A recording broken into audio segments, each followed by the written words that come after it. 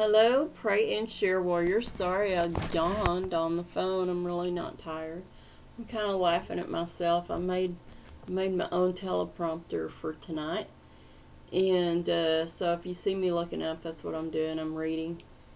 Um, because I have these sheets, but I don't want to be looking down all the time. I'm trying to learn some new things. This is what happens when you're not really professional and you're just kind of winging it. And uh, so you just make yourself stuff. That's one of the gifts that God has given me is that um, He gave me an inventive mind. Um, so I'm using my inventive mind tonight. Well, I hope that y'all had an awesome Friday. It is Friday. It has been raining here in my hometown. And um, my name is Charm again, and this is my ministry. I feel like God has called me to this ministry to share His truths and the gospel of Jesus. Mm, excuse me, I'm sorry that I wasn't here last night, but I was getting some much needed training in an area that I feel like God is calling me to. And since I decided to follow what I felt like He was calling me to, it's just all falling into place so quickly. And um, I will talk about this maybe one night next week. I'll, I gotta find out what I can say and what I can't say. I don't want to mess things up. So, but what I want to talk to you about tonight is God always keeps His promises because I've been thinking a lot about trust. And so God and I have, in my quiet time, been talking about trust. Oh my. My teleprompter wants to go south. Like somewhere else. There we are. It wants to go somewhere else, sorry. Anyway, it's it's not a screen. It's like um, one of those magnetic boards with my sheet uh, under a magnet. Hey, you got to do what you got to do. When you don't have a fancy teleprompter like the government has, you just have to do what you have to do. So, anyway, I want to talk to you about God always keeps his promises. Um, to me, that is what has grown my trust uh, for God knowing that he is going to do what he says he's going to do. And um, anyway, that's what we're going to talk about tonight. I may read both days of my quiet time with God because we have been talking about trust and he's been asking me questions. When did you start trusting me? You know, and I guess my answer to him was it has grown over the years. It wasn't an overnight thing, you know, and uh, I really couldn't pinpoint the day or the time that I just really started trusting him with like everything. Like, okay, you can have it all. I, you know, whatever, whatever you want me to do, wherever you want me to go, um, and you just have it all I don't have much money, but he knows that. But that's okay. He knows that I use what I can for to further his ministry. I mean, further his kingdom. It's a kingdom. It's not a ministry for him. It is a full-blown kingdom. So anyway, all right. I am going to pray, and then uh, we will get into some Bible study, and I'll, part of this is my testimony. Um, this was a very big impact in a time where I started trusting maybe more was the what I'm going to read you today. Okay, I hope my sound is up. Okay, it is. I never know. Sometimes I turn it down. Okay, well, let's jump into some prayer. God, we just thank you and I just praise you for this time, God, that I can come and through the Holy Spirit I can share parts of my testimony and uh, the things that you've done in my life, God. The times that you've been there, the times that I've felt your presence, God. I just praise you and thank you. You are the great I am. You are the great Jehovah. You are my creator, my sustainer, my provider, my protector. God, you are my shelter in the storm. God, you are the righteous judge that will come and judge all unrighteousness. But God, too, you are waiting on your children to be saved through Jesus. So you're kind and compassionate and loving and patient. And you're just waiting. God, all your promises are kept. All your prophecies will be fulfilled. God, we know that Jesus could come tonight.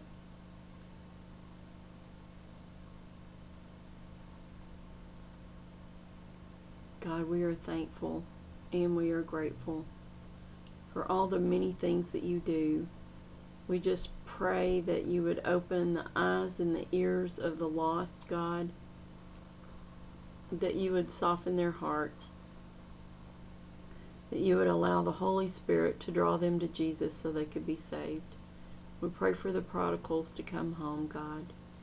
We just pray for them to see where they are, for them to repent, for them to return to you, God.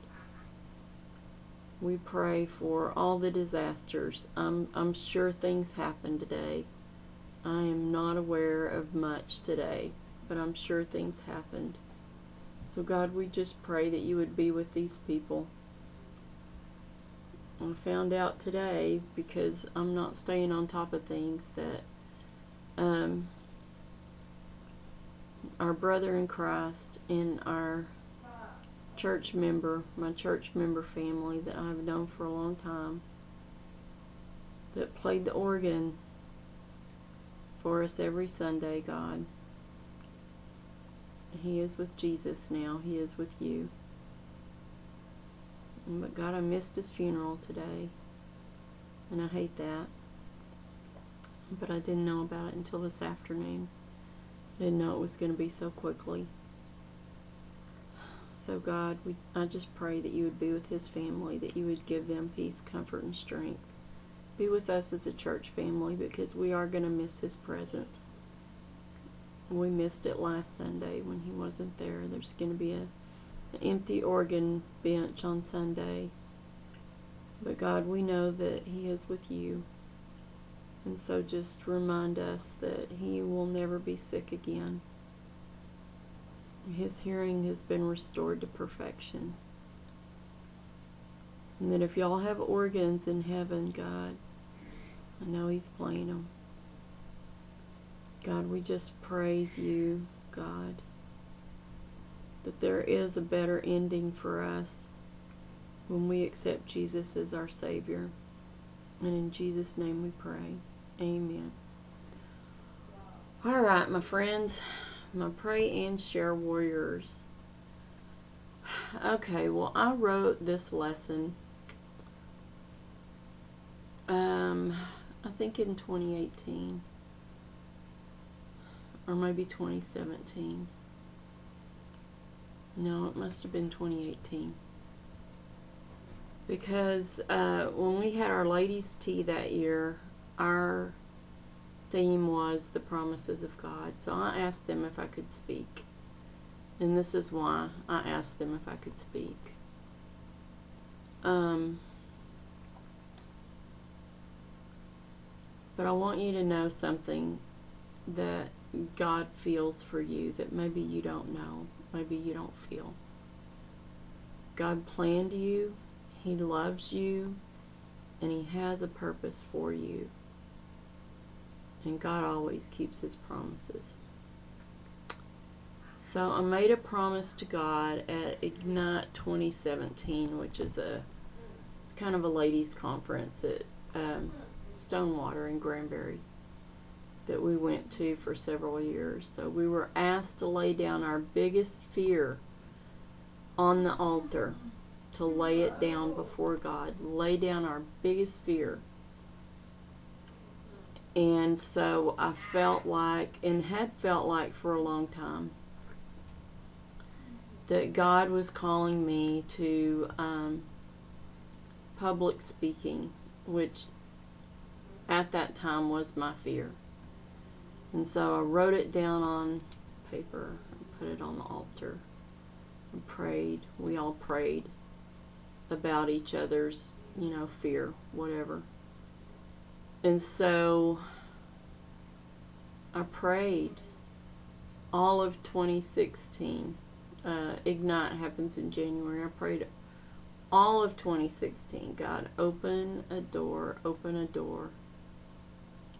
Um, but He didn't open a door. And so I really didn't understand um, at the time, but now I do because God's timing is always perfect. And He was preparing me. He took a whole year preparing me.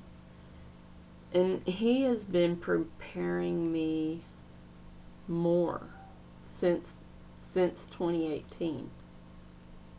He has been preparing me more for this calling because I have done so much more since then.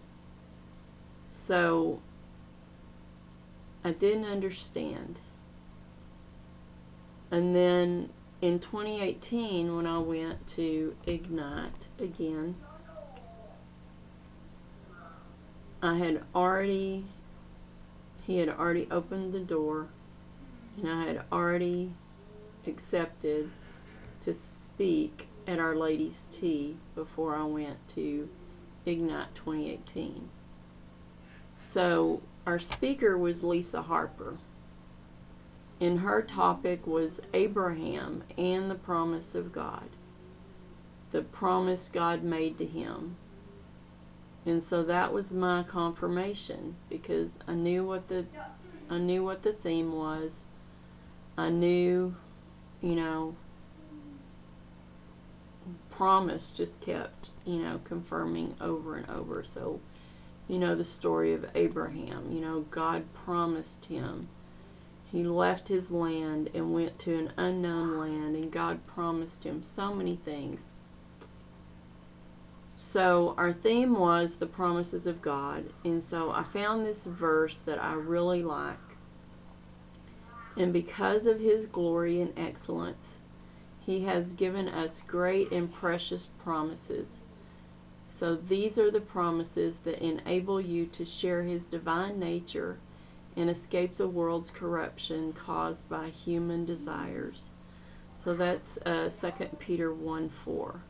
So I thought that was a really good verse, you know, that I could start that off with. I have to move my paper up. So God made thousands of promises in the Bible that have all been kept. God keeps his promises. Every promise in here has been kept. So, um, how many of you can say that you have broken a promise? I have broken promises before. so, raise your hand wherever you are. Uh, you probably have to. So, it hurts when we break a promise and when one is broken to us. I've had promises broken to me too, uh, not by God. And I said, I think Satan just waits until we say, I promise, and tries his best to put obstacles in our way to break them. And I believe that because the promise is an important, it's like an oath, it's an important thing to God. So we have some awesome examples that God has kept. Awesome examples of promises that God has kept in the Bible with Abraham, Noah, Moses, Joshua, and then there is the story of Hannah, which brings me to my first point. Okay, this also is part of my testimony that I was giving.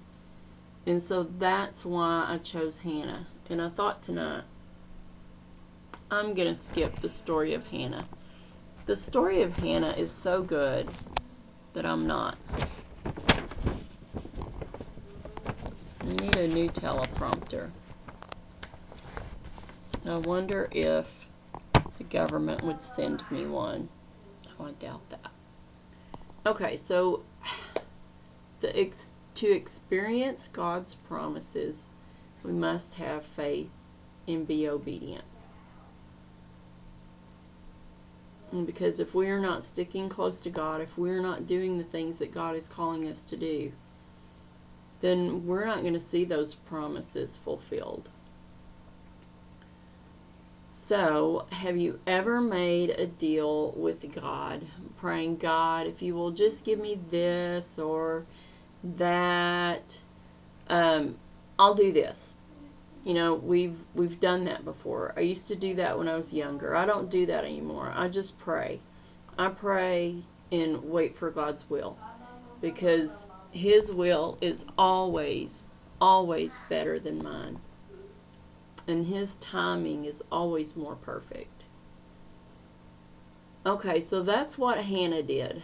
Hannah in the Bible. Hannah had great faith in God and was obedient. So the story of Hannah is found in 1 Samuel 1 1 through 19. I think we'll read it. Let's see if I can find it. Oh, I did. Because God wanted me to read it because I've already found it. 1 Samuel 1.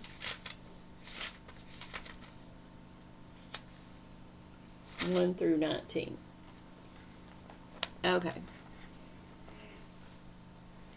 Now there was a certain man of Ramathaim Zophim. I have no idea if I pronounced that correctly. I'm not going to put this on my teleprompter.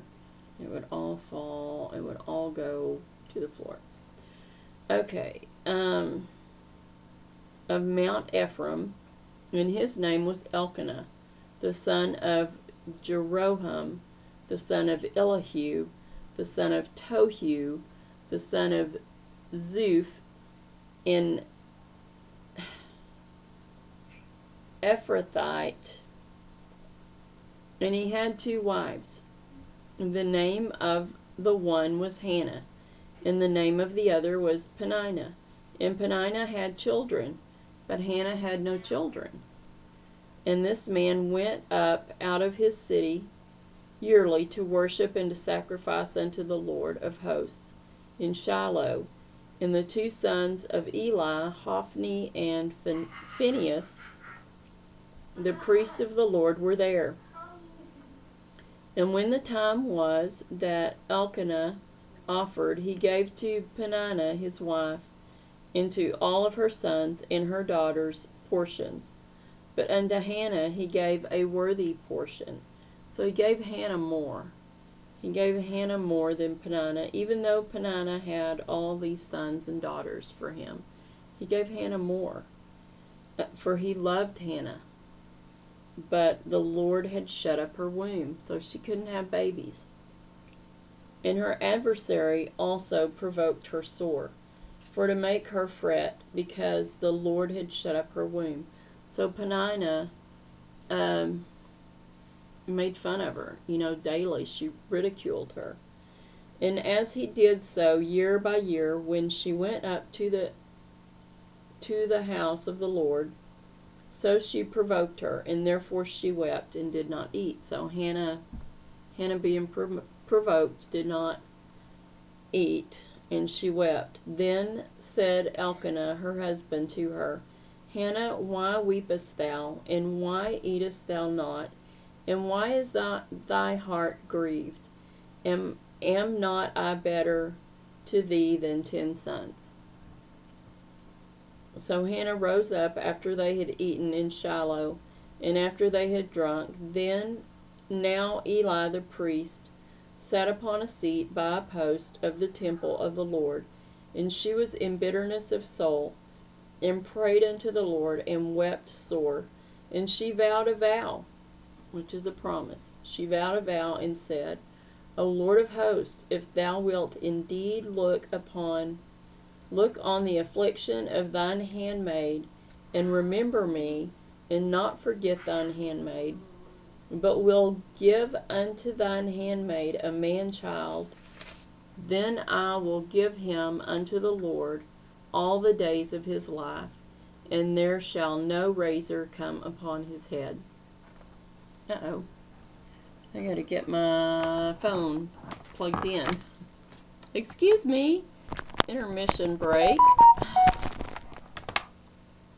That's annoying.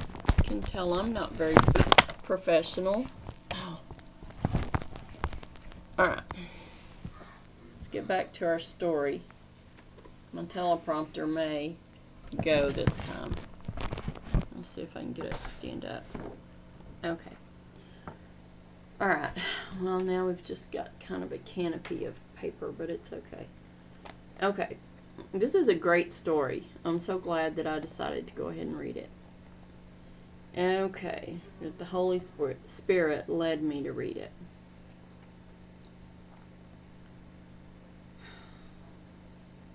And it came to pass, as she continued praying before the Lord, that Eli marked her mouth.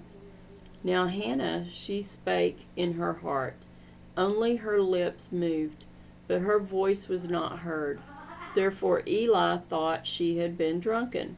And Eli said unto her, How long wilt thou be drunken? Put away thy wine from thee. And Hannah answered and said, No, my lord, I am a woman of a sorrowful spirit. I have drunk neither wine nor strong drink but have poured out my soul before the Lord.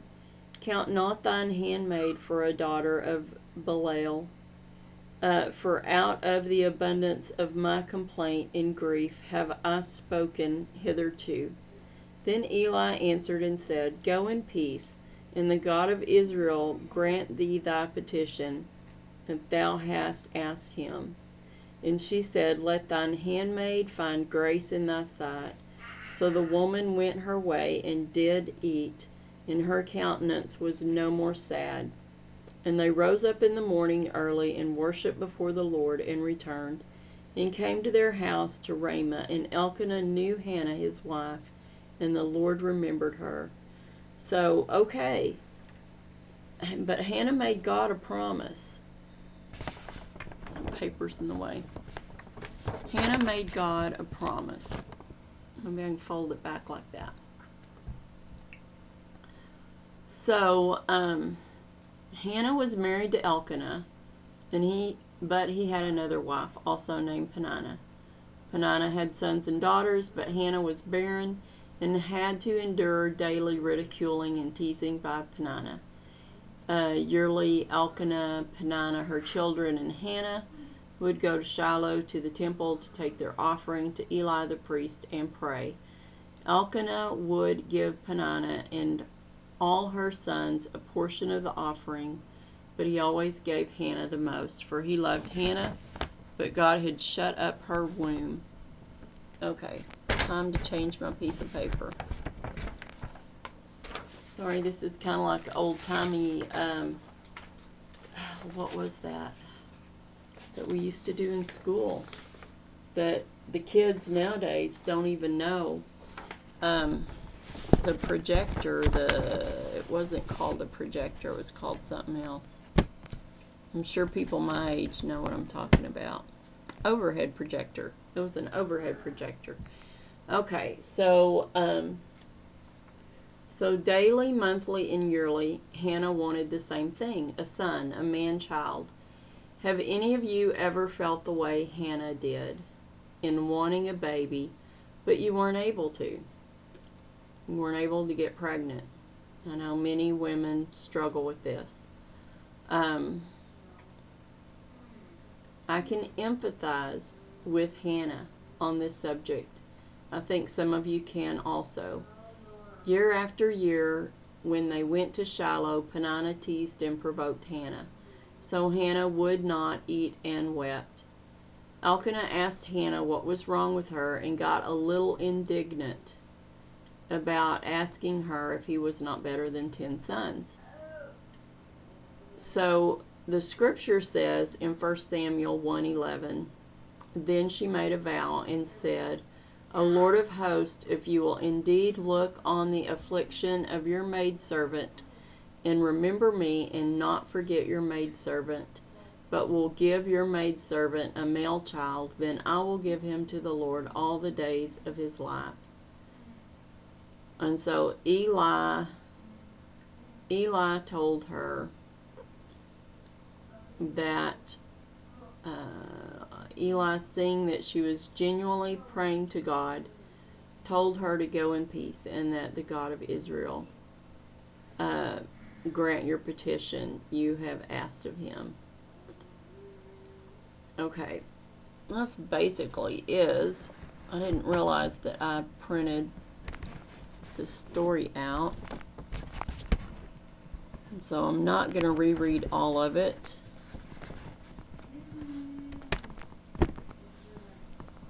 Okay. Hannah gave birth to a son, and they named him Samuel, which means, I have asked him of the Lord. Because that's what she did. She asked God for this son.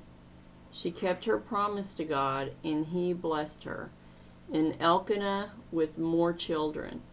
So Hannah, when uh, Samuel got old enough, she took Samuel back to the temple so that he could be raised at the temple mm, by, I think, Eli.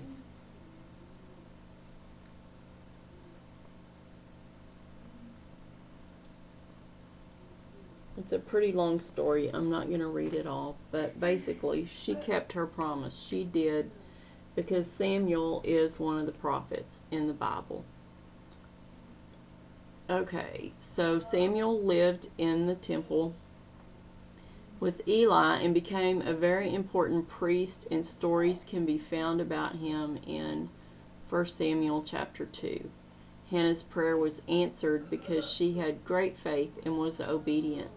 When God gives us specific, a specific promise, it requires trust, which leads me to my second point today. So, my first point was to experience God's promises, we must have faith and be obedient. Hannah was both had faith and she was obedient. And you know what? She was consistent too. Because year after year she would go and she would pray the same thing. So we'll give her a, bonus word. She was consistent. So to experience God's promised promises, we must trust His specific plan. So, this is more of my story. So, my husband and I got married when I was 40. And we wanted to have a baby, but after trying for over two years, like Hannah, I seemed to be barren. You know, I, I couldn't get pregnant. So, I do have a daughter from my first marriage and uh, she was 16 at this time. And she had been asking for a sibling since she was five. Yeah. So she was ready for a sibling. She did not want to be an only child. Um, so I finally got pregnant and we were really happy. We were so happy. We felt like this was going to be a boy so we named him Isaiah. We already named this baby. So my pregnancy was great until one day at work I was looking through some boxes. I picked up a heavy one. You know, we forget. We forget we're pregnant when we're pregnant. And so um, about an hour later I started spotting. And I was so upset. I had never had a miscarriage before. So I was sitting outside praying to God about my pains, my bleeding, crying and pleading to for him to save our baby. So I was at work when this happened, so it wasn't something I could go crawl in my bed. I had to go back to work. Um,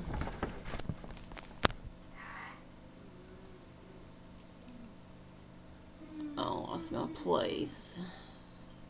So I went back inside and I sat down at my desk, and very clearly I heard God say, You will have your baby. Those words, you will have your baby. Not you will have another baby, but you will have your baby. So that just made me so happy, you know, because I thought, all right, I did not miscarriage this baby because I thought he meant that I was going I was not going to lose Isaiah, but sadly I did. Sadly I did have a miscarriage. So I did miscarry Isaiah and it was like a death with no funeral. You know, there's no body, there's no funeral, there's no but it's death. It's death and there is grief. And I really did not understand why God told me what he did, and I still lost my baby. And that was like July of 2002. So it's been a while. Let me scroll my sheets up. This is not working great. I was going to do this for another project, but uh, probably not. Just won't stand up just have something heavy back there, but apparently not heavy enough. Okay. Nobody move. Okay, so, um, you know, I, I'm going to be honest, I was a little bit mad at God. I have, I have spent time being mad at God before, like wasting my time, because, you know, it's all His plan and purpose anyway. So we decided to try again, and after a few months, I was pregnant, pregnant again. And uh, we found out early in January of 2003. So I was so scared to do anything. So I took it easy. I didn't do nothing. I didn't pick up anything. Um, when we went to have the first sonogram, the doctor told us um, we needed to speak with a genetic specialist because they discovered markers of Down syndrome. And so the meeting had so much information that I did not even understand. You know, a lot of it I didn't I didn't understand. Neither one of us had any special needs family members, so we just really, you know, we just, it was just, you know, more than we could understand. So, the doctor told us after the meeting that we could terminate if we wanted. But we we're Christians, and we were both appalled at that, you know, and we go, no. We'll take whatever God gives us, we will take, and we will gladly raise. And so, um,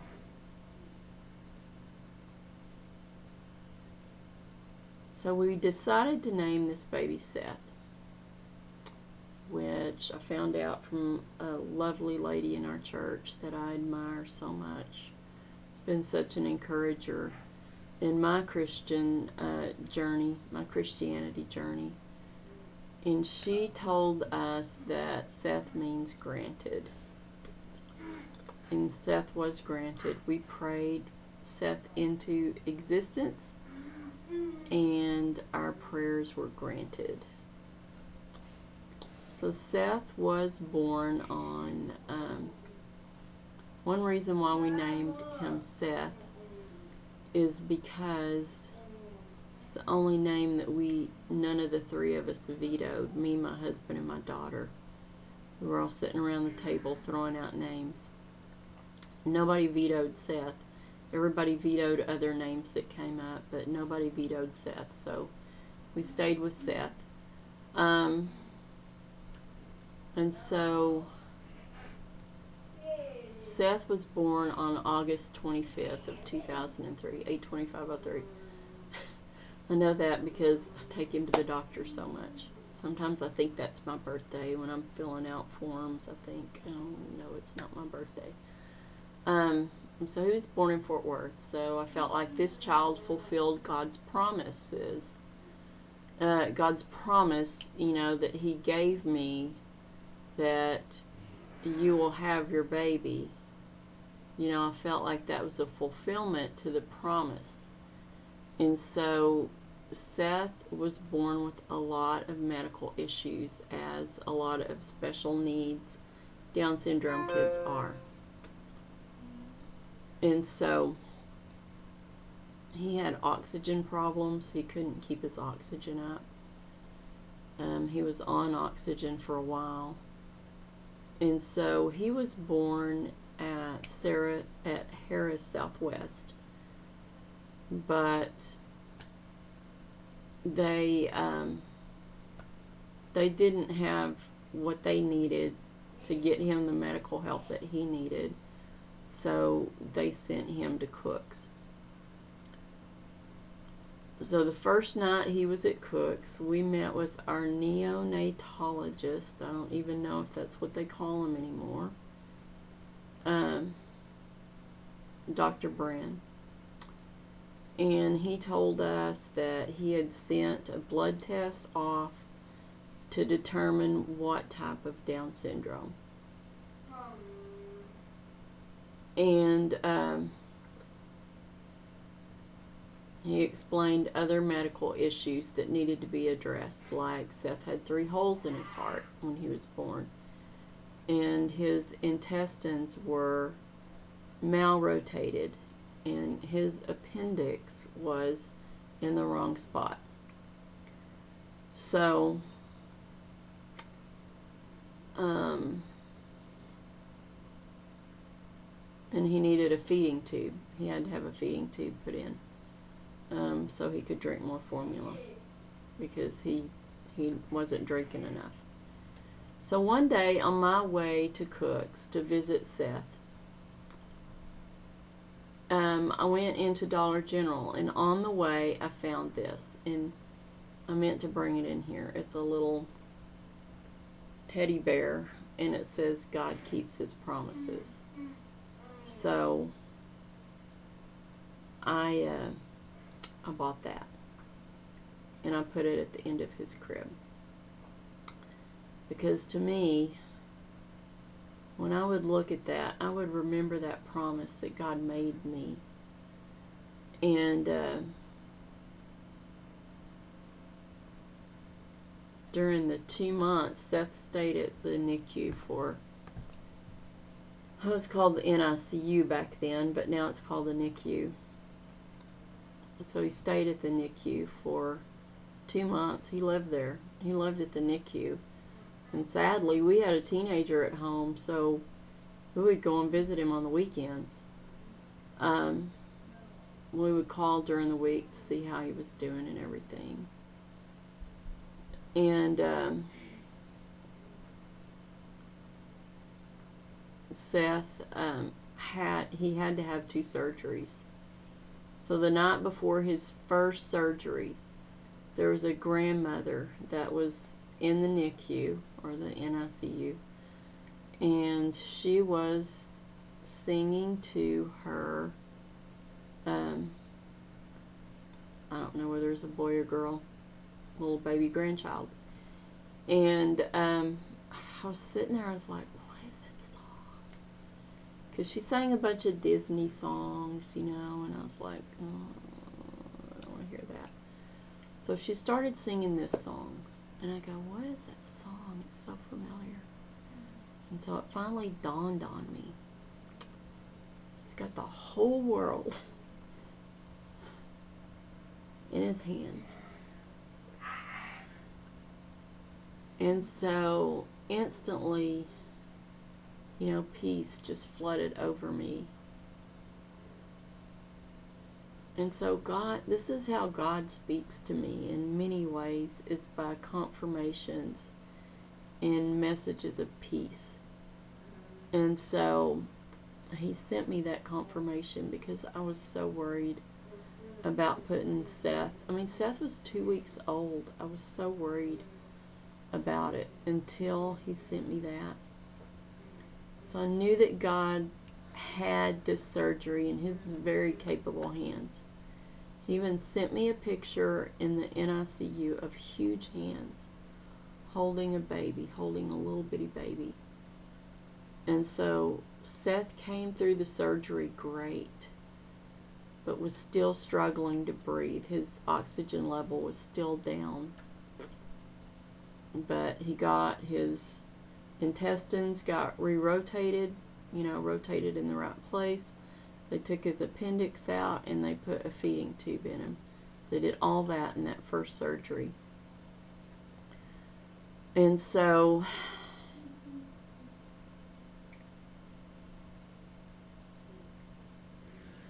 So Seth was nearly strong enough to come home at the five week point. And I want to tell you something.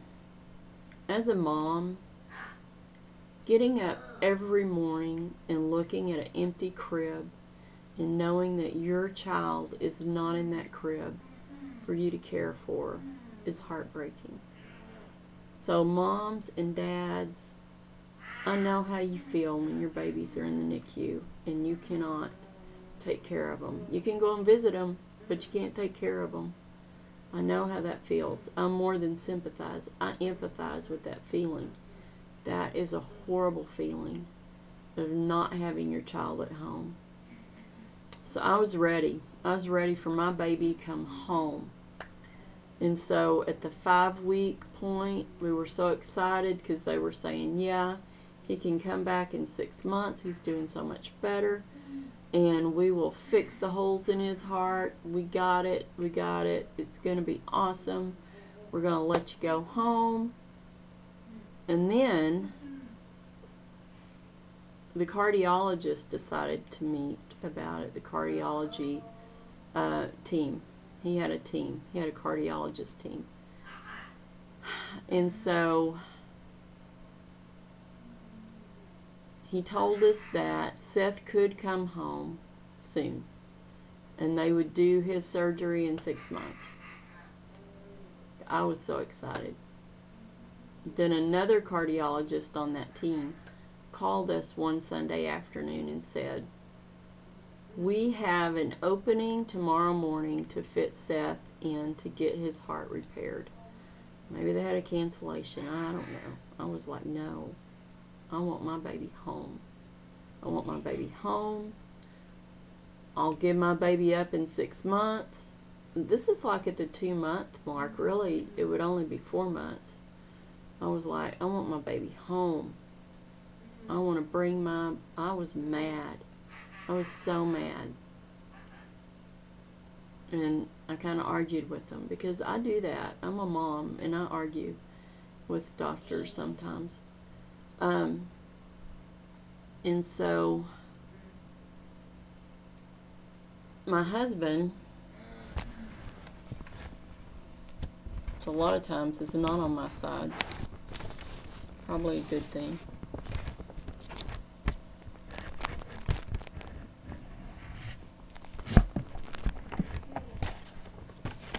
Oh, this is, is a pitiful setup.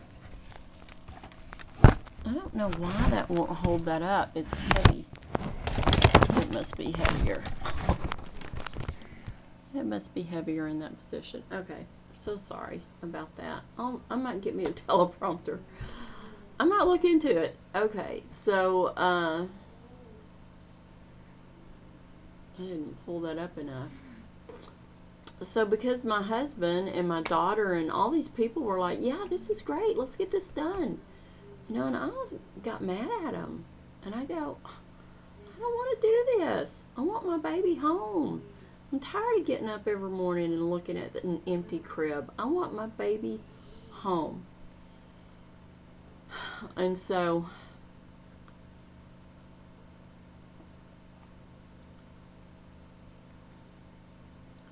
So Ricky said, you know, okay, if you think that is best. But what I did not see is what God was doing for Seth. See, it was never my plan. None of this was my plan. I wanted my baby at home. I wanted to have a baby. not have as much trouble as I had having that baby and bring my baby home after a few days. I know a lot of mothers get to do that. Well, I have never had that luxury, but it's too late. I'm not even going there anymore. But I've never experienced just taking my baby home. I've had some medical issues with both of them. Okay.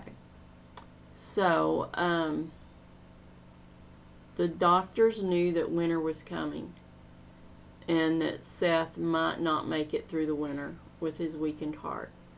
See, they, they were looking out for Seth. I was being selfish. So God opened a door for surgery to help Seth get stronger faster. So we decided to do it. So we packed up our stuff and went to church that night on our way to Fort Worth.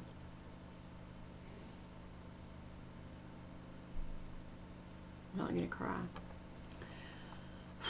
So we shared with our church family, which had been praying, had been praying through the pregnancy, had been praying through everything. Um, what we were going to do. I don't know if I can get through this or not. I can.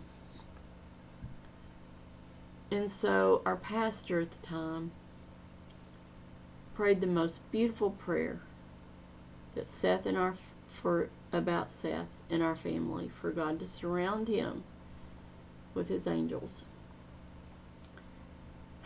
And we also sang that night. He's got the whole world in his hands. God is intentional about his messages for us. I'm just going to put this over here. Oh, I can't. Yeah, okay, that's better. I'm just going to have to see that I'm looking over here because I'm tired of fighting with this up here. Okay, so Seth, when we got there, I am not lying. I never saw that sheet on any baby bed. I never saw that sheet after this night. Just going to give you chills. It gives me chills every time. When we got to the NICU that night, Seth was laying on a sheet that was blue and it had angels all over it.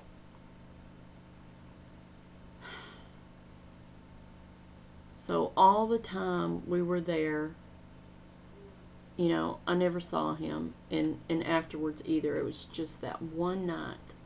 That one night it felt like a miracle. It did. Seriously.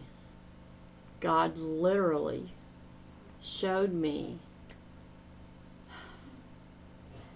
the angels that he had surrounding our baby. Mm. So we got to stay, you know, I know Cooks is different now. You can like stay with your kid. Well, it wasn't back then. You couldn't stay with your kid. But if they had a major surgery early the next morning, they would let you room with your kid. So that was kind of like my deal. Okay, I want something for doing this because I don't want to do it. But I was pretty convinced by the time we got here. And then I saw the angels on the sheet, and I was very convinced that, you know, things were going to be okay. We sang He's Got the Whole World in His Hands. I mean, that threw back to that first surgery. So, okay, we got to that room the night, and we stayed with Seth all night. This was the first time in nearly two months we got to stay together. So, Seth did great on his surgery. They why is my phone dying? Oh no. I thought. Alright. I may lose you, Facebook. I don't know why. My phone is dying. I thought I plugged it in. Maybe I, it got unplugged. Alright, so if this Facebook thing turns off, then I will finish it later. but my YouTube thing doesn't have anything to do with face with my phone. It's on my computer. Okay, so all right, so Seth did great. He did so great. Seth did so great that you still can't see the holes in his heart. But Seth does have a leaky mitral valve that we go every year to get checked on uh, it, EKG and echo.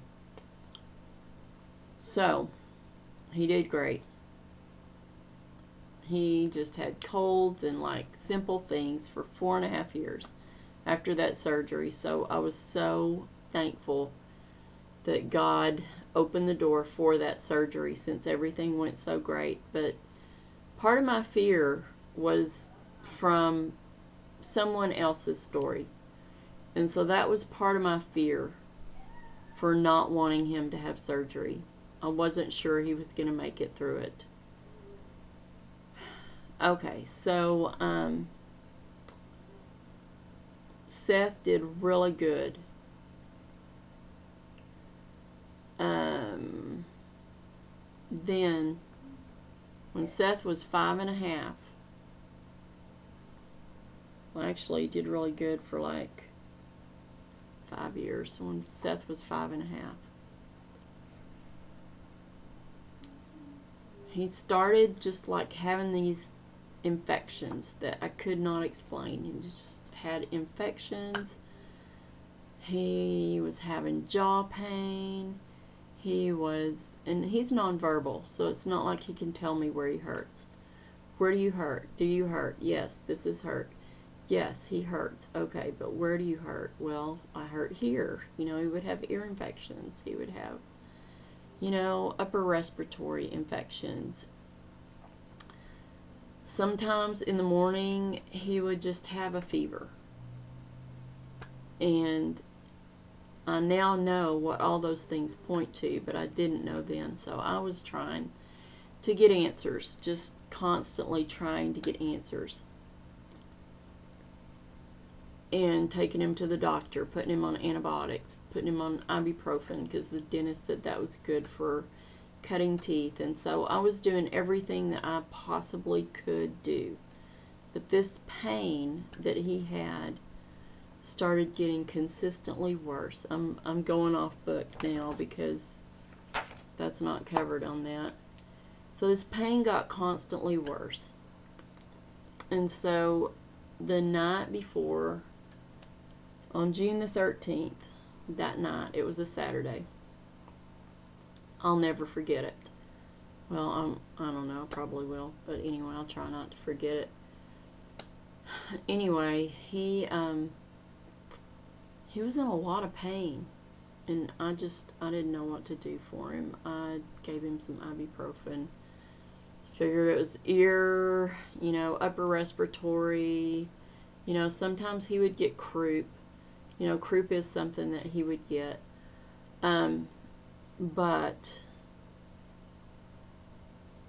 he was uncomfortable until about 2 o'clock in the morning. He finally fell asleep. So when I went to bed, I prayed. I said, God, please, please do not let this pain, Seth be having this pain tomorrow. I want to go to church.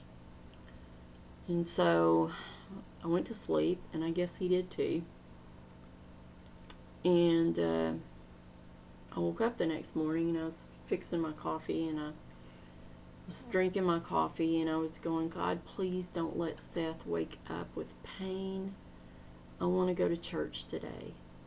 And uh, immediately, just like that voice that said, You'll have your baby, that same voice said, Sometimes pain is a sign of something a whole lot worse. And so I knew where I was taking my son. I love this town. I have taken him to the ER here, but I knew where to go. So I woke Ricky up and I said, Get up, eat something. Said, I'm feeding Seth right now. I'm going to eat something because it may be a long day. I said, There's something wrong with this child. Either he has a blocked intestine or something is wrong with him. And I said, We're going to Cook's.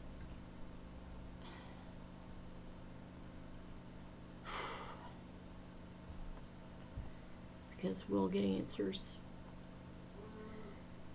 Because they have a specialist in every field. And I knew we would get answers. I'm sorry, I'm usually a lot stronger than this. But we've had a church family death and my my emotions are a little close to the surface. So we were there. We got there early that morning.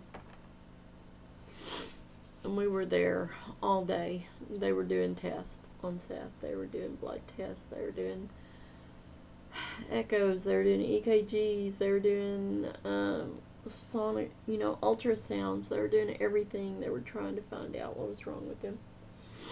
Of course, I don't have a Kleenex in here.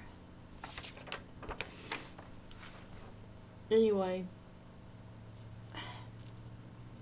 listen to those voices because I'm glad that I did listen. I'm glad I did not ignore that voice. So,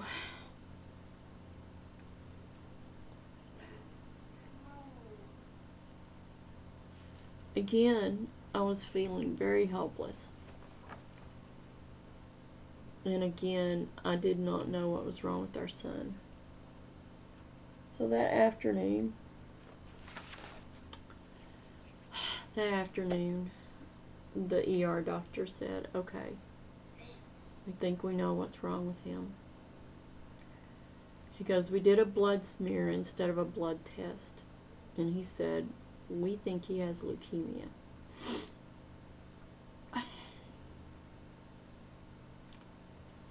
And so I felt like somebody had kicked me in the gut. Because what I knew about leukemia was a death sentence. Because when I was a little girl,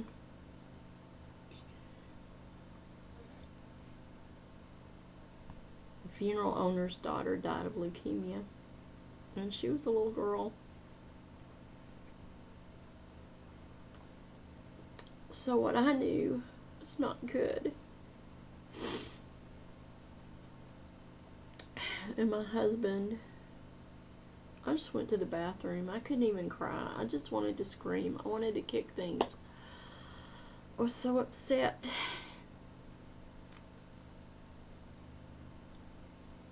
Because what I knew wasn't good. And I felt like felt like God was going to break his promise. That's what I felt like. I go, oh God, you brought us so far. You brought us five and a half years to break this promise now.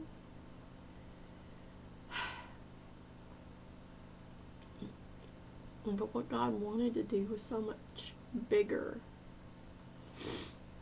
than what I wanted Him to do. So, I usually don't cry during these things. I've actually shared this before and not cried, but not today. So, I cried for three days when I finally got to where I could cry. I cried for three days, and we were we were not very prepared because we didn't know that we were going to be staying. We thought we're going to find out what's wrong with Seth. We'll be coming home with him, but that was not the plan. And so, um, what happened is I can't remember his name. Dr. Heim. which was a hematologist. he is the specialist. And so he came and looked at the slide. And he said, Yeah.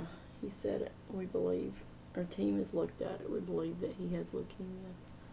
But we don't know what type.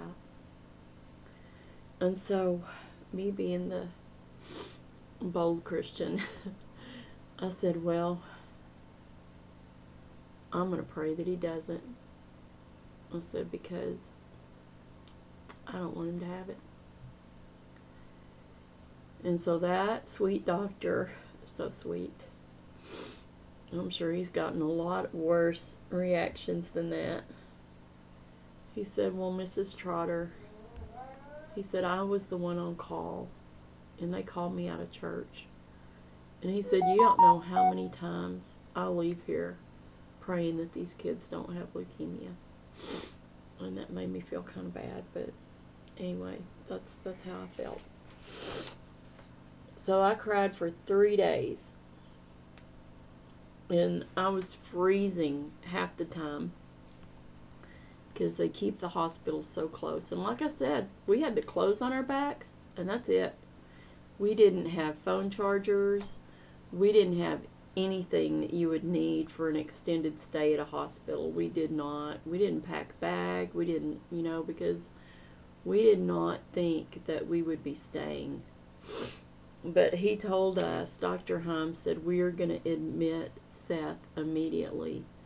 He said, it is, um, he has had it for a while, and it has progressed a lot. And so all those times that Seth was sick, all those times that Seth was in pain, and I was giving him ibuprofen, I was driving down his platelets. I did not know.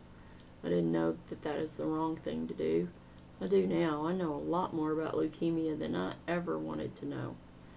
And so they admitted Seth, and the next day he had surgery because he had to have a port put in, and he had they had to take a chip out of his hip bone so that they could find out what kind of leukemia he had.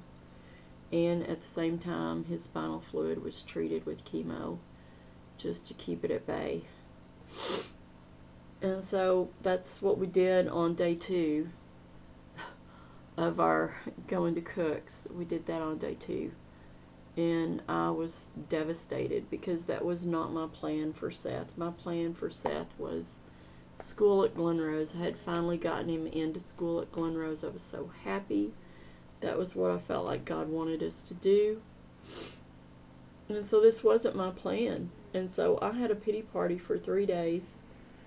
Then I met, I met God on the bench in front of the hospital.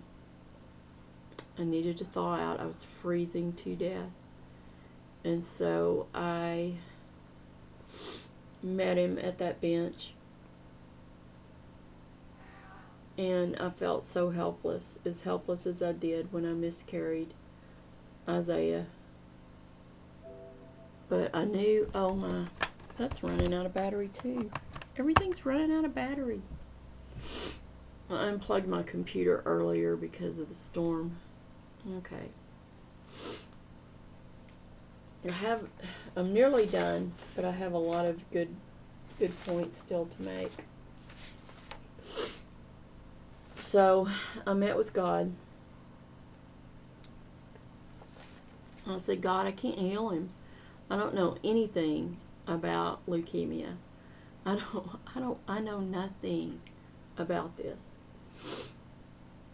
And, uh,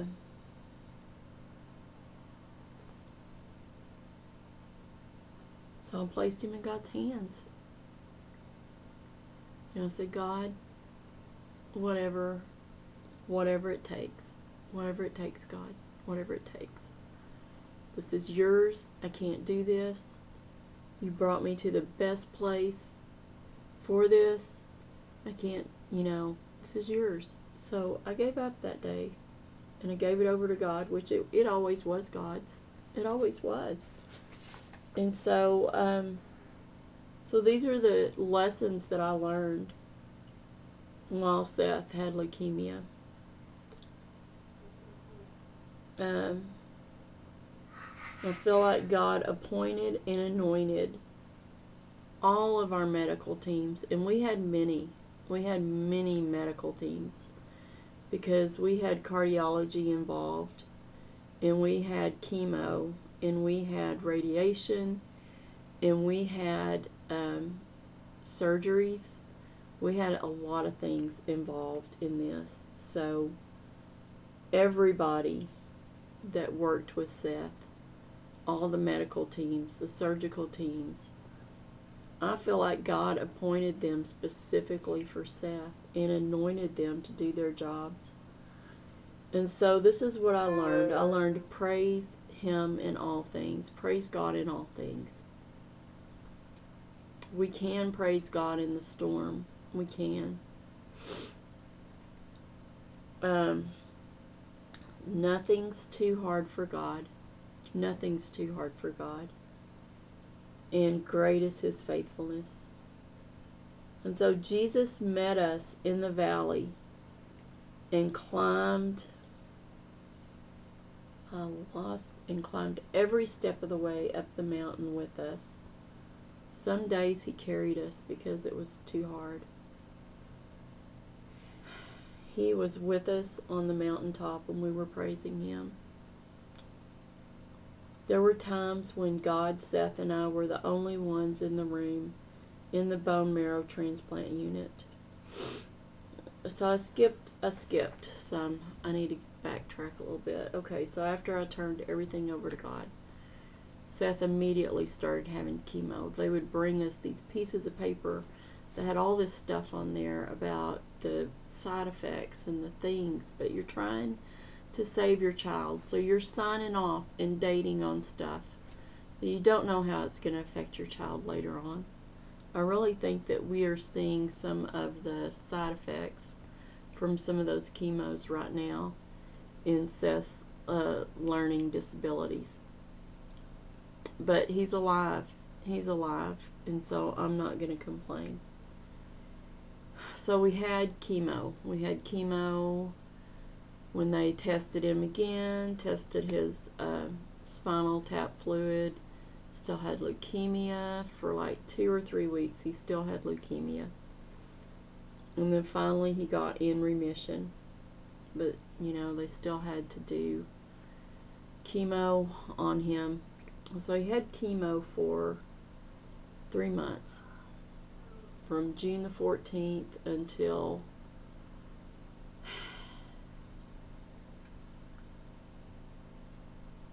sometime in September, maybe the 1st of September.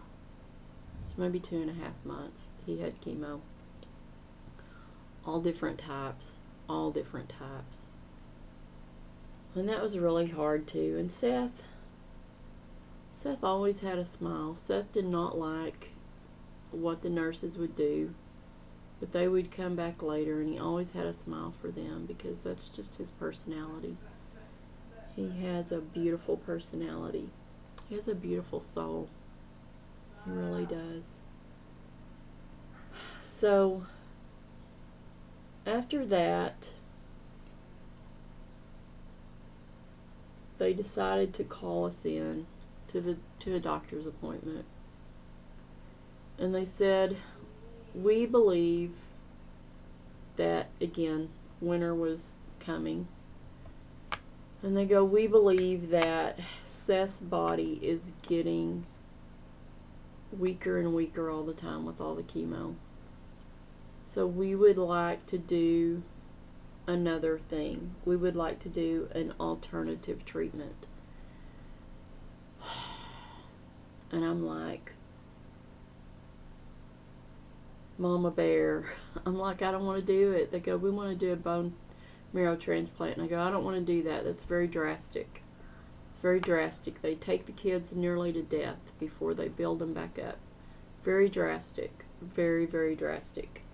And they had already talked to us, you know, about it. And I was like, mm, I don't want to do that. One person has to stay with Seth all the time. Only one parent in the room at a time. We couldn't stay there as a family like we had been at the hospital. We had just been sleeping on the fold out couch. You know, Ricky and I, it was very uncomfortable, but we had been doing that. So again, I did not want to do this. I did not want to do this. And I fought. But after they talked to us, within two weeks, they had found two perfect matches for Seth. Now, we weren't a match. Neither one of us was a match. My daughter is a half sibling. She wasn't a match. So we didn't have any familial matches. So in the data bank, in the bone marrow, uh, the cord blood bank, they found two perfect matches. So I still didn't want to do it. I was still arguing because that's what I do best. I argue. And so as I would drive back and forth to Fort Worth, because I was working too, I was working on the weekends at the Promise. And I would go during the week and I would, you know, we would, um, they were very good to work with me. And my employees were very good to be able to carry the ball while I wasn't there. And then I would work on the weekends when it was the hardest. But as my traveling back and forth through Benbrook to go to Cook's, there was this billboard that said, Nothing's too hard for God. And I would look at that and I'd go, Yeah, I know that. Know nothing's too hard for God. But I still don't want to do this. I still don't want to do this. It's drastic. I've heard that people have had bone marrow transplants, they haven't worked. And um, I didn't want to do it. My husband did, of course. He's always on the opposite side when it comes to medical stuff. God has to convince me because I'm very hard headed. And so, because God's God, just about three blocks down the road, the exact same billboard. Nothing's too hard for God. And so I go, okay, I still don't want to do this. And so, what convinced me is that a late my husband went to church here in Glen Rose and a lady was there with her family. Well, her granddaughter was in the bone marrow transplant. So my husband brought her to our house. You know, God sent a lady to my house. God sent a lady to my house. That's how hard headed I am. So I talked to her, and she did make me feel better. And her granddaughter was fixing to get out, which, you know, light at the end of the tunnel. And so that morning before that lady came, I had been listening to music and Great is Thy Faithfulness came on. And I was like, God, you are faithful. You have been faithful. Why do I doubt that you can't be faithful through this? And then that lady came to my house. So we decided to do it. And Seth had to go for like a week of intensive testing before we could be admitted into the bone marrow transplant. And you can't be sick. Your family members cannot be sick for you to be in there because those kids don't have any immunity. It is it is hard to be in there. You're washing your hands all the time, you're changing your clothes. Anyway, but we made it through that. And so he had his bone marrow transplant on September the 21st of 2009 and he did really well, but there was one day that I was there by myself and even the doctor was concerned about Seth, but he he made a turnaround and he he did great. He really did.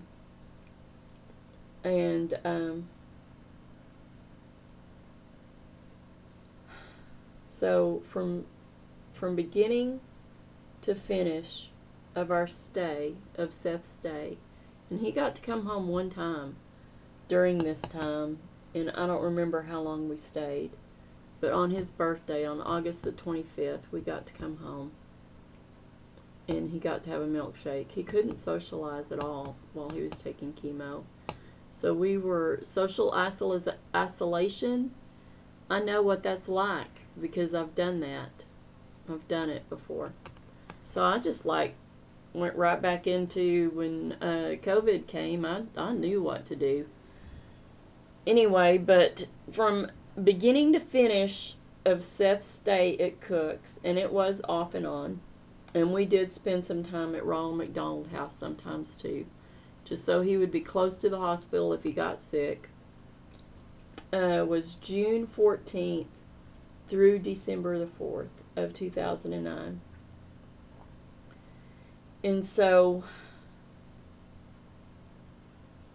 what the treatment for leukemia is, is three and a half years of chemo, off and on, in and out of the hospital, some radiation. So, through the cord blood transplant that our son received, God gave us a tremendous gift of time. He shaved off three years of treatment through that. And I know I'm hard headed and I probably could have done it sooner, but that's just the way I work. And God knows that. He loves me. Even though I am hard headed, He loves me through it. So let me finish this. So Seth showed us, the nurses and the doctors, with his beautiful smile. My son used to have blonde hair. I know a lot of people don't realize that, but he had blonde hair before he got sick. And now he has brown hair like us. But he had beautiful blonde hair and beautiful blue eyes. But apparently, this transplant changed his eyes because now they're brown. They're not blue like they were, but that's okay. We still love him. Anyway, he, his beautiful smile, the forgiveness and love of Jesus over and over again, I saw that on my child towards these people that in his mind, because he didn't understand, thought they were torturing him. But he had the love and the forgiveness of Jesus and a hug and a beautiful smile for them every time they came back. Now, he wasn't smiling much when they were there doing what they were doing. So they could come back five minutes later and he'd just be smiling at them because that's who God made Seth to be. And so we felt the prayers and support of so many people, our families and friends, our church family, my promise family that I worked with, and their families. So I praise Jesus that Seth is still in remission and has been for for like 11 years now. This was eight and a half years. I know and have no doubt that God keeps his promises no matter how big or small it is, hard to let go and let God. No matter how big or small, it is hard to let go and let God with our children. But trust is what He requires. God requires trust. You know, I'm probably going to have to do a second a second one of these because I'm already an hour. So I'm going to talk to you tomorrow about who do you trust. But this this that I'm sharing with you tonight is when my trust started building so much. So much because this was so big. It was such a big thing. So Seth's ministry in life is hugs and love, and he has plenty for everyone. So Seth is my specific promise from God to fit his plan. You know, God has a plan for Seth. So this brings me to my final point that I want to make, and it is by far the most important and is eternal.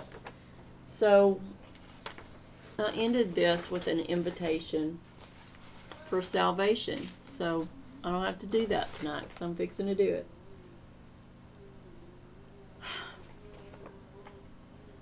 I wonder if I can put this over here. Okay, so Jesus is our promise from God. Jesus was promised all through God's Word that He was coming, that He was the promised one.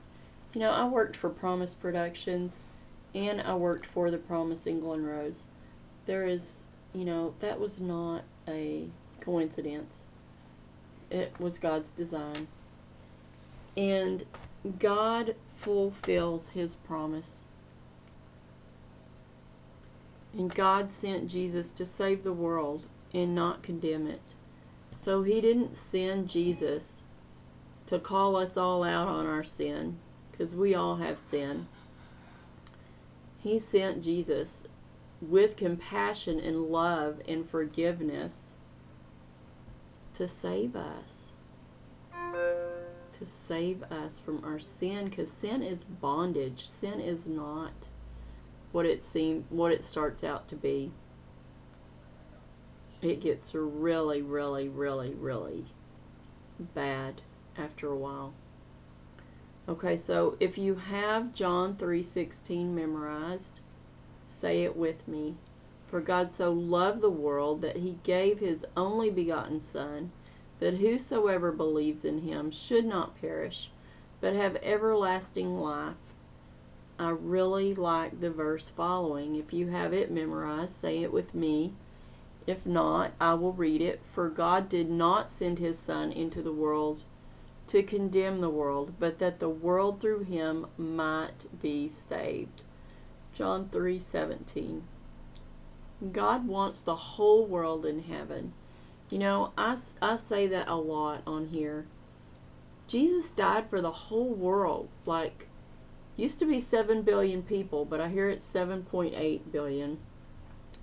And sometimes I hear it's 8 billion, so I have no idea. I have not done the census of the world, so uh, between 7.5 billion and 8 billion people. Jesus died for every one of them, every one of us. The love of God for us and for the whole world is so tremendous, so deep, so wide, and everlasting. Jesus is the only path to God, and the ultimate promise from God is heaven. Jesus is the example that we have for love and compassion. The love of Jesus is like 1 Corinthians 13:4. Love suffers long and is kind. Love does not envy. Love does not parade itself, is not puffed up, does not behave rudely, does not seek its own. I'm just going to read like this. Um, is not provoked, thinks no evil, does not rejoice in iniquity, but rejoices in truth, bears all things, believes all things, hopes all things, endures all things. Love never fails. This is how Jesus loves us and how we are to love others. Um, Jesus came and lived on this earth, withstanding the same temptations we face daily. He left this earth perfect. Jesus came as a humble man, showed love and compassion, but he, he will return as King Jesus. His love for us has never changed and will never change. He promised his disciples before he ascended that he was going to prepare a place for us, for them, and for us too. He also promised that he would return to get his church and usher them into heaven. He is there right now preparing a place for us, a place in his kingdom. So 2 Peter 3 9 tells us why Jesus has not returned yet. The Lord is not slack concerning his promise, as some count slackness, but is long suffering toward us, not willing that any should perish, but that all should come to repentance. This promise has not fulfilled has not been fulfilled. Jesus has not returned yet. But if all promises in the Bible have been fulfilled, this one will be also. Everything we have in this world is temporary, but Jesus is building an eternal kingdom for us to live and reign with Him forever. We must receive Jesus. He is our promise from God. Are you ready to receive Jesus as your Savior? Are you ready to receive the promises that God has for you in His life? In order to get to our ultimate promise, We must accept Jesus. He is the only path to God. Out of all the decisions that we make in our lives, this is the only one that lasts forever and is the most important. Choose Jesus as your Savior. If you have strayed away from Jesus, then return to Him today. He is waiting with His arms stretched wide open, and He loves you today as you are. Do not wait. A day is coming when it will be too late. Thank you for letting me share this message with you today. I made this video to a song that really speaks to my soul about the promises of God. I love the lyrics to this. And so then I invited our preacher's wife to come and do, you know, ask people if they wanted to be saved. I believe everyone at Our Lady's Tea was saved. So are you saved tonight? Is Jesus your Savior? As I try to get all my papers together. It's crazy. I'm not going to do the teleprompter thing anymore. That was fun. Still won't stay. Alright, there went all my pencils too. Woo, fun. It's going to be fun to clean up. Okay. Well, thank you for indulging me um, with my testimony. Um, my testimony is very long. This is just part of it. But this was a part where I really had to trust God. I really just had to let go. And I've had to do that many times in my life. Just let go and let God because I can't do it. And uh, I'm thankful that I did because He showed me a lot of very important life lessons. And something that I didn't say is that once I did turn all this over to God, I started praying for other parents and other kids. And I still know a lot of them now. And they they are survivors too. So my son is a leukemia survivor. And uh, he is a very strong young man. And he's 17 now. This happened to him when he was five and a half. So he will soon be 18 in August. In four months he will be 18 alright so I found some different ways to do the salvation message. I thought. I thought I did I don't know what I did with them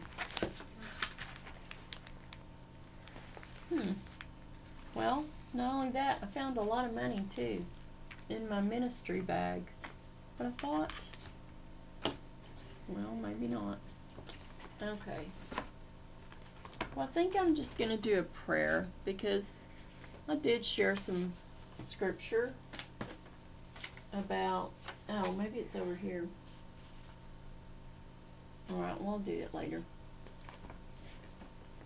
Because this has nearly taken an hour and 30 minutes, so thank you for hanging in there with me. I didn't get anything else done. I didn't read to you what I did on Facebook. I guess I'll do that tomorrow. I didn't read this. It's, God and I have been having some really good conversations about trust. Maybe tomorrow. Tomorrow's Saturday. Okay, maybe tomorrow. Okay, so this is a prayer. If you would, if you want to receive Jesus as your Savior, then repeat these words after me. I will leave a space for you. Dear Lord Jesus, I know that I am a sinner and I ask for your forgiveness.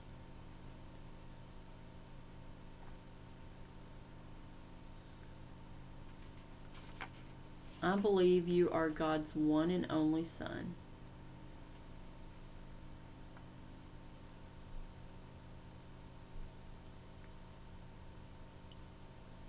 I believe you died on the cross for my sins. You were buried for three days and rose from the dead.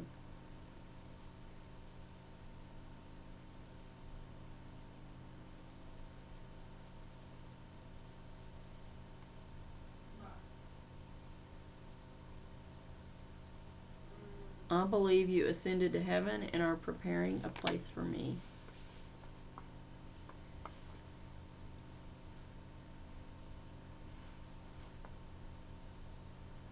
Turn from my sins and invite you to come into my heart in my life.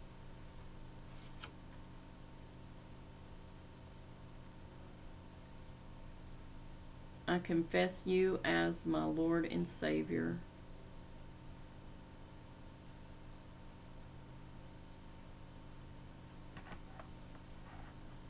Clean my heart and help me to glorify you.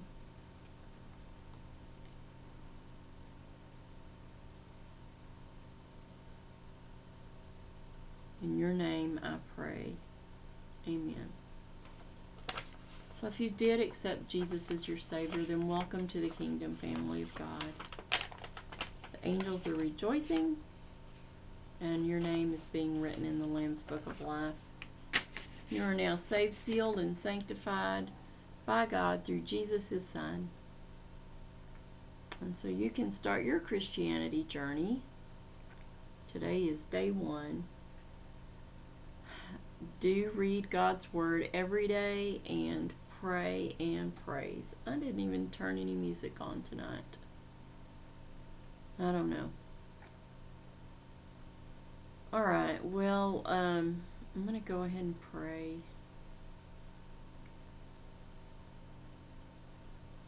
And uh, get off of here. I need to go feed my son. I need to go feed Seth, my son. Um, I don't know if I have any pictures over there. They probably have dust on them.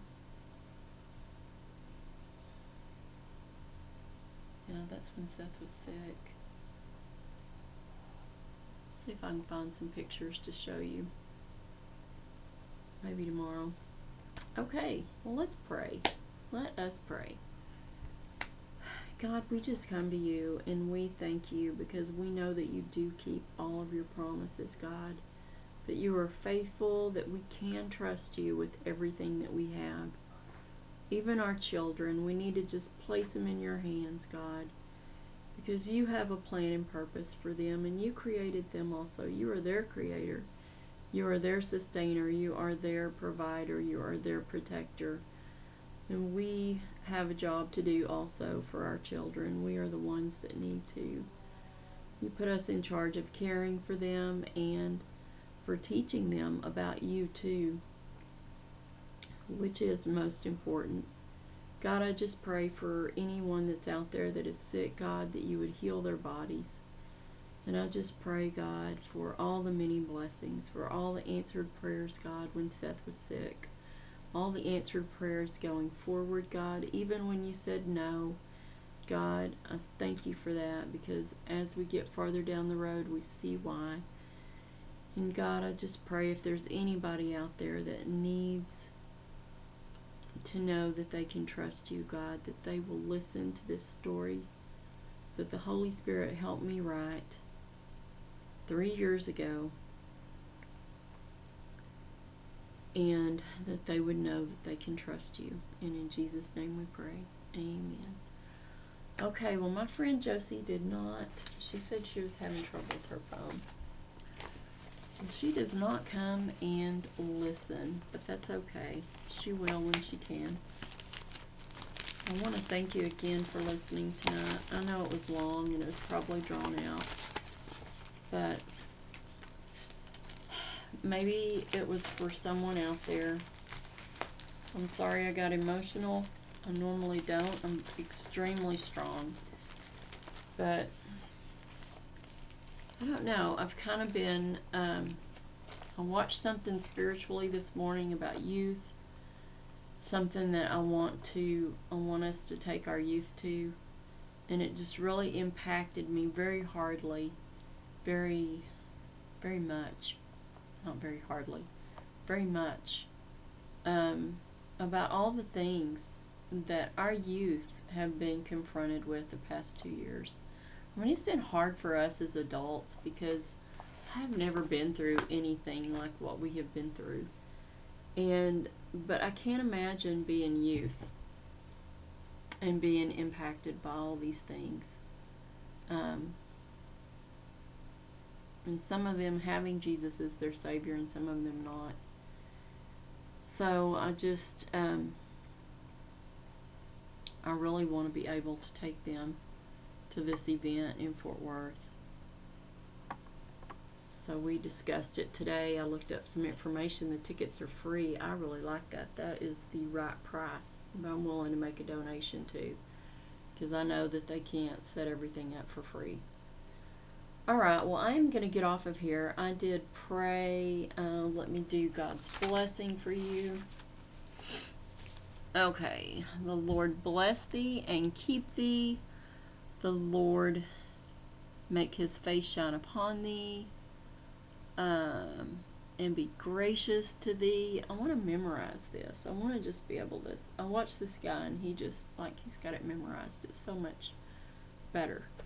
Um, the Lord lift up his countenance upon thee and give thee peace. Wow, we need peace. There's not a lot of peace in the Middle East. There's not a lot of peace all over the world. So we need peace. We need the peace through Jesus Christ. We don't need a false peace. We need a real peace. We need revival. I'm thinking revival a lot lately too. I know not all pastors like to do it, but I think we need a revival. I really do. In our communities, we need revival. Alright, well, I am getting off of here. So, much love. Much love, much love, much love, much love. And cyber hugs. Till I see you again. Good night.